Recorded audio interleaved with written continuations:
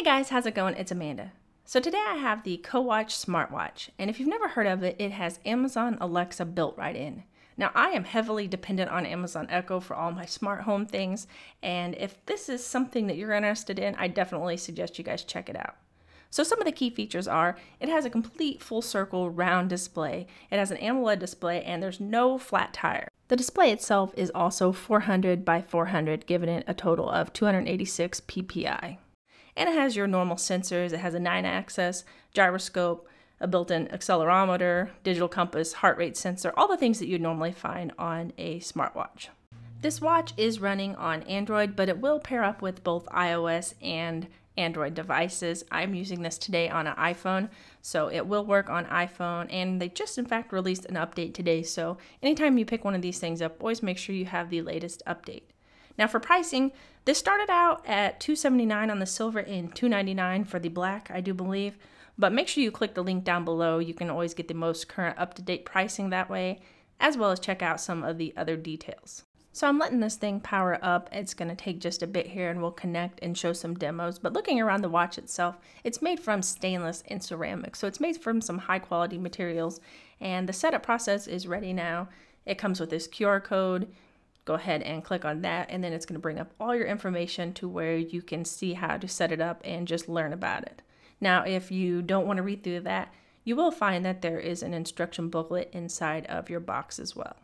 Moving along, we have our limited warranty info, so make sure you check that out and hang on to it, along with our charging base. And you can see the strip here where you do have to have it orientated just right. And it also comes with this micro USB with a flat cable, which is nice. Also underneath this little piece of foam, make sure you guys don't miss this because I did the first time around, you have a little tool that is used for changing the size of your watch. And along with that, they also include a glass screen protector with this. That's really cool option that they've added this in here and included it for free instead of trying to sell it separately and make more money. Moving along, I am going to pair this up and have everything set up so my device is communicating Again, I'm doing this on an iPhone 7 Plus, so it is on iOS 10. And as I mentioned before, there's going to be an update as soon as you get it. And then yesterday, yeah, yesterday. Yesterday I set this up, and then today they already had an update. So it's really nice to see that they're addressing bugs that are being found and keeping this software up to date. Moving along, I have my watch set up here and this isn't always on display. So whenever you're ready to use it, you just double tap and that wakes up your watch and it does save some battery with that. And you can flip through here. It's kind of hard to see these because they're very thin lines on this white background. But there's all these quick access settings that you can select. And here I have pulled up the footsteps and you just swipe to send it away. And here's a demo using the Amazon Alexa feature. What day of the week is it? Thursday, October 27th. Who won the World Series game? Last night the Indians lost to the Cubs 5 to 1. In the 2016 World Series, the Indians are tied with the Cubs. So that gives you a little example of some basic things. But if you have your home really wrapped up in smart home tech, here's a couple examples of things you can do. Trigger video mode. Sending that to IFTTT. Trigger play Xbox One. Sending that to IFTTT.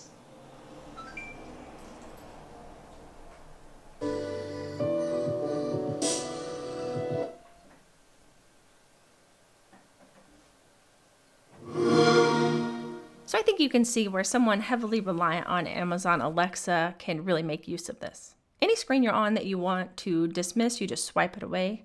You swipe down from the top if you have notifications, which I have none right now, and you swipe up from the bottom for settings.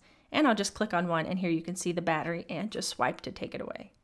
Now, there also are all these little settings that I showed you, quick access settings, and here I had the flashlight, which I expected to turn the flashlight on my phone on, but it turns the screen into a white light to see in the dark. And you can select any of these that you want. You can just slide through here, pick one that you want to select, and then you can set it. And if you tap and hold whenever you are not on one of the little quick settings, it allows you to change your watch face. And there's many different ones you can choose from, but you can only use the pre-selected ones that they offer. You can't upload any of your own. And here you can see, you can swipe through here, you can see these better with this black background.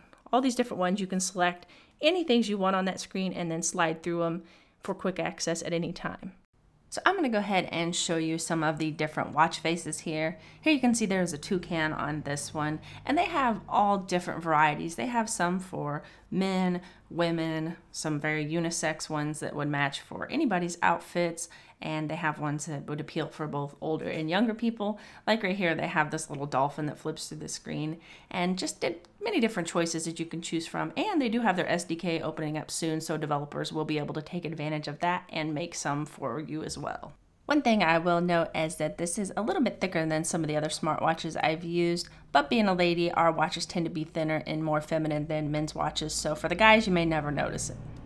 So guys, I hope you enjoyed this look at the CoWatch. Hit that thumbs up button if you like this type of video. Subscribe if you're new to the channel, and I'll see you guys in the next one.